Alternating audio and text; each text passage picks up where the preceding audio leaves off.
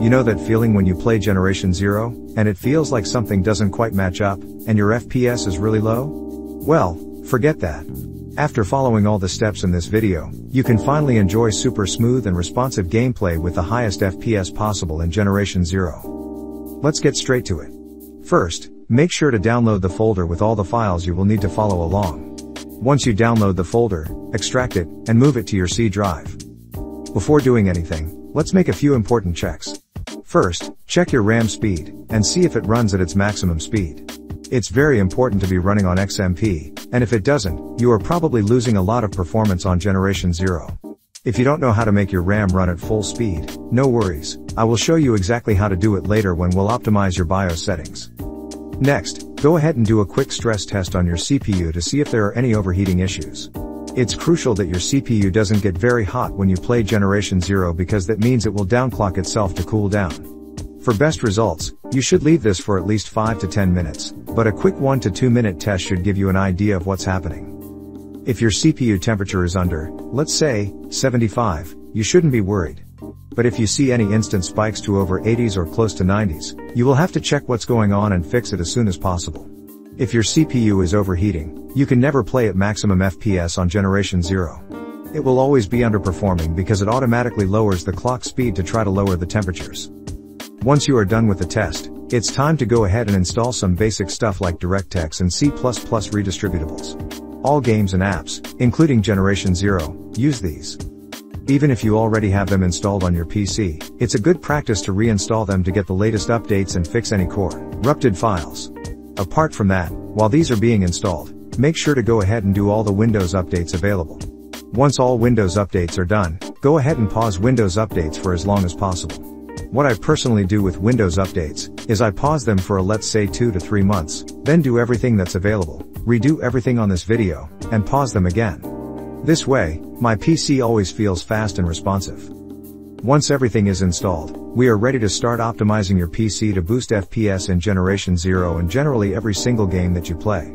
First let's start with your Windows Power Plan. Just run the pp file, and it will automatically import and enable the highest performance power plan for Windows. The registry file will automatically optimize, update, enable, or disable every single Windows setting that makes sense for performance. You can take a look by yourself, and if you are familiar with Windows Registry, you can edit it for your preferences. This is literally everything that will have an effect on performance while skipping everything placebo or useless.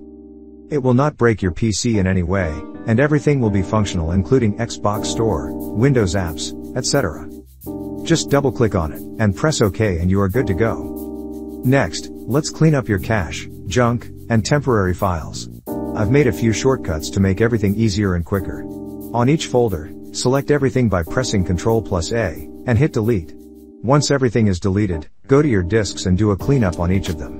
This way, sometimes you can clean a lot of disk space, especially if you are using other software and games except Generation Zero. Next, let's set up ISLC. This program will help a little with latency and always clear up cached RAM. Set up the settings like mine with the only difference on the option called, free memory is lower than. There you should add half of your RAM multiplied by 1024. If you have one, 6 gigabytes of RAM, then the number should be 8 times 1024 equals 8192. PC.cmd will rebuild your performance counters. Just double click on it and press any key to continue. Next, go ahead and run Autoruns.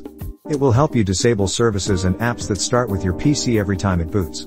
Make sure to uncheck everything that you don't need. If some software is not working properly or opening after restarting your PC, just come back here and check the related item. Once you uncheck all the unneeded services, go ahead and close Autoruns. Make sure to not disable anything related to Generation Zero. Let's move on to the GPU folder. What we will do now is completely uninstall your GPU driver and then reinstall a new one. By uninstalling your GPU driver using DDU, you ensure there are no leftovers or corrupted files that could mess up with Generation Zero and cause low FPS, stuttering, and unstable performance. This process is recommended in Windows Safe Mode, but I will do it like this for the video. You can do it in a normal Windows environment, but it's better in Safe Mode. Once you open Display Driver Uninstaller, choose your GPU, and click Clean and Restart.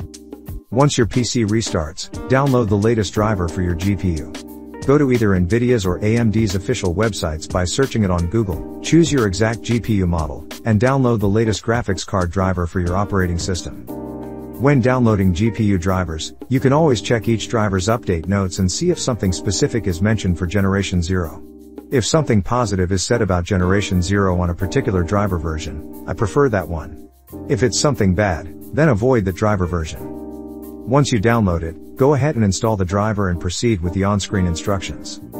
Once you've installed the driver here are the best NVIDIA settings for Generation Zero as well as the best AMD settings for Generation Zero. Copy them and then make sure to enable e-hardware accelerated GPU scheduling on your Windows settings. The next step is to disable audio enhancements. This will not help boost your FPS in Generation Zero directly, but it will fix stuttering and freezes for many of you. There is almost zero effect on how you hear things inside Generation Zero unless you have any special effects like bass boosting enabled. You can always return and enable them if you feel your sound changed drastically in the game.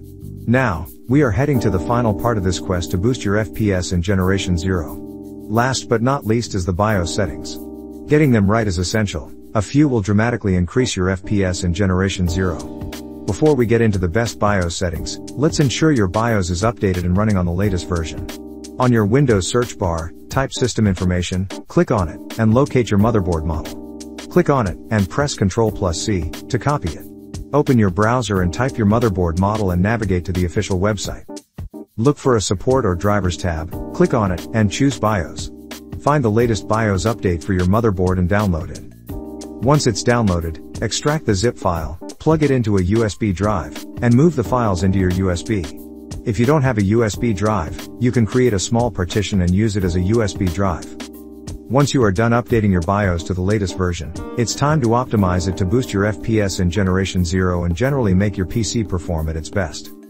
If you are on an AMD system, then make sure to adjust the following settings. Enable XMP to make your RAM run at maximum speed. Next, enable Precision Boost Overdrive. This will make sure your CPU works at maximum speed. Also, enable resize bar support.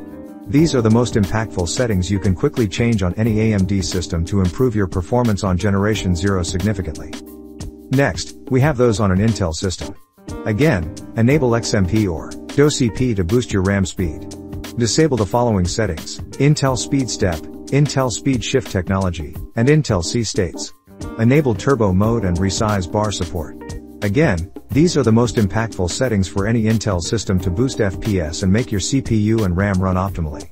Of course, you can optimize them further by overclocking and undervolting your CPU and RAM, going further down the line with BIOS settings, but we won't go in depth in this video. If you followed the video and did everything as suggested, congratulations, your PC is running at least 95% of its potential. Your FPS in Generation Zero should be at the highest they've ever been, and your PC and gameplay should be smooth as butter.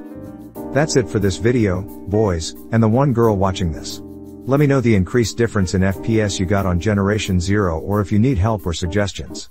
Have a beautiful day.